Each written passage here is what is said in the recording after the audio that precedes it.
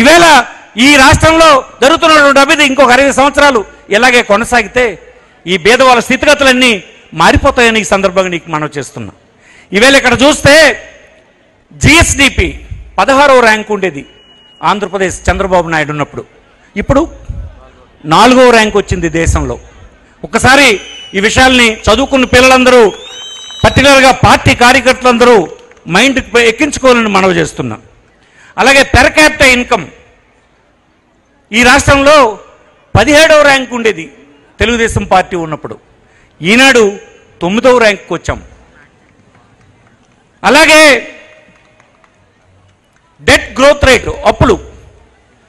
ఆనాడు నూట అరవై తొమ్మిది పర్సెంట్ అప్పులు పెరిగినటువంటి స్థితి ఉంటే ఈనాడు యాభై ఎనిమిది పర్సెంటే అప్పులు పెరిగినటువంటి స్థితి ఉంది. ఇండస్ట్రియల్ గ్రోత్ రేట్ ఆనాడు మైనస్ మూడు పాయింట్ రెండు ఉంటే మనది పది పాయింట్ ఐదు పర్సెంట్ గ్రోత్ ఉంది. ప్లస్లో ఉంది. అలాగనే అగ్రికల్చర్ గ్రోత్ రేట్ ఆ మైనస్ ఆరు పాయింట్ ఐదు ఉంటే టీడీపీ హయాంలో ఈవెల్ ప్లస్ ఐదు పాయింట్ యాభై ఆరు శాతం ఉంది. దీనికంటే ఒక రాష్ట్రం అభివృద్ధి చెందిందా లేదా సరైన దిశలో ప్రయాణం చేస్తుందా లేదా అని చూసుకోవడానికి ఇంకొక సూచి ఏమైనా ఉందా? ఇదేం మనం చేసుకుంది కాదు కదా.